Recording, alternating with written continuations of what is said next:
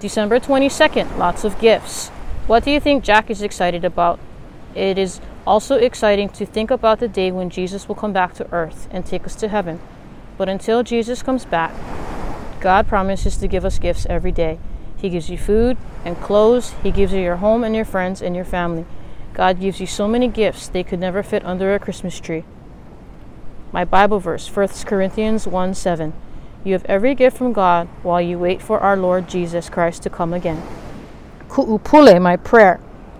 Thank you, Lord, for the gifts you send. Christmas will never have to end. Amen.